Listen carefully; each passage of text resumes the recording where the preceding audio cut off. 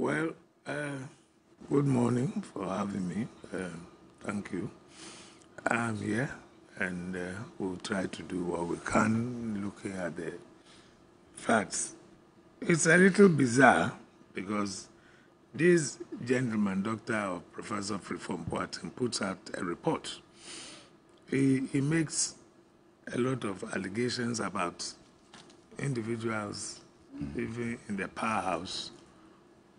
And the OSP tells us that he is interested in what is happening. So one would have thought that he would take the report and go after those people who have been mentioned. Then all of a sudden we are told that he, or rather, becomes the subject of the investigation. And uh, it reminds me of something they used to say, complainant and accused. they said complainant ten accused. You know, so uh, it's a little bizarre, uh, and uh, I don't think he has issued a statement yet telling us the reasons for the arrest. No. But I'm told he's to appear on the news file this morning uh, on your sister station to give the details. It makes it a little difficult, you know, to discuss it in detail, except that you can talk about the general uh, uh, uh, principles surrounding said things. For example, that uh, when a complaint is lodged, uh, the, the suspect can be arrested. Then the, the police will be doing what they call investigations into the matter. Then you could be granted what they call investigation caution statements. Right. And then after the investigations, if they are satisfied that you are somebody who should be charged, mm-hmm. then they will charge you before they ask you to give a charge caution statement. Mm-hmm. So generally, the procedure is not to charge him straight away, because from what we have read, it appears that at this stage, then he is doing investigations. Mm-hmm. Uh, there are two types of bail.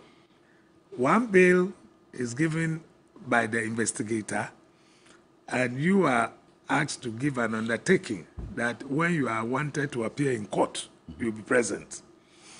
The second is when you appear in court itself, then the judge will grant you bail, giving an undertaking again that you will stand a trial. So, in terms of procedure, since he has not issued out any report yet, my understanding is that then he is doing investigations at this stage and he's granted him bail to keep coming until he finishes. And then when he decides that he's going to charge him, he will then charge him and ask him to make another statement, and then he will put him before court. That, that is, but I am saying that it's a little bit d- because this is somebody who has issued out a statement warning about the dire consequences of the, what is happening and why the fight against Galamsey appears not, you know, to be making headway.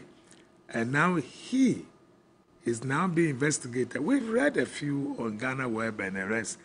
There's some, he has to account for some vehicles. There are some monies were given to him. He has to account.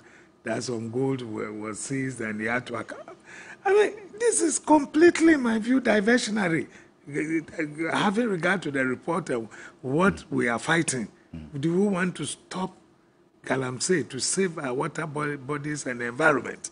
Now, the one who was put there to go and do the investigation is now being investigated about vehicles that were given to him to go and do his work. And maybe some money and uh, that he has to account for because we gave you money to go and do the work. He issued a report, which meant that, as far as he's concerned, he's done his bit. And this is the And he result. said he submitted the report to the presidency, Of even though he didn't leak it publicly. But, well, we, we, we have the details And he said he had spoken about it on more than one occasion at, uh, in cabinet. I mean, Indeed. those of us who have been there before, if there is a need to brief ca- cabinet, you do.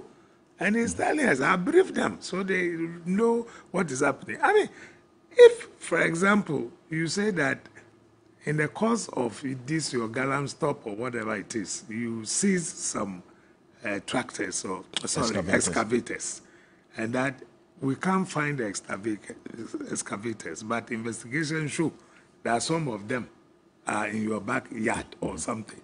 So you know that is something that we can relate to. But the man is telling you that he doesn't even know where the, invest- the, the excavators have gone to. Mm-hmm. And that there are some people who must be held accountable to explain where they. Now he becomes a. sub- I'm telling you that is the common thing that they used to say complainant and accused. That's the way I'll put it. Hmm.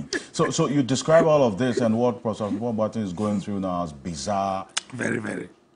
and and the issues being reported around as diversionary than the, the major issues that we're supposed to be focusing on as we speak. Exactly, because it, it is a huge problem if what we are hearing about cocoa exports going to be affected because of the environmental issues.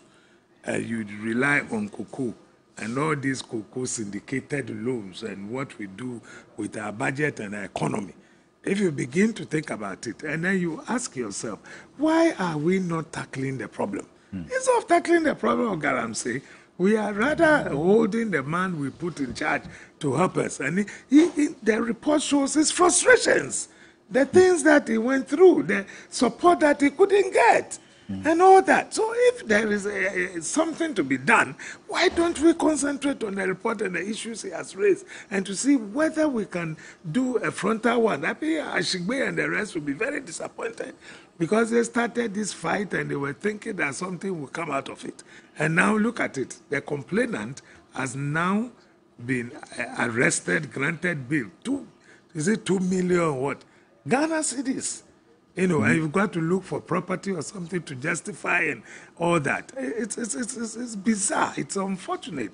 And I just don't, it's diversionary in my view. And mm-hmm. I don't understand what is happening. I don't. To, to mm-hmm. be happening to such a fine gentleman who has done his work, he's issued this report. And your duty is yeah, take the report and we look at it.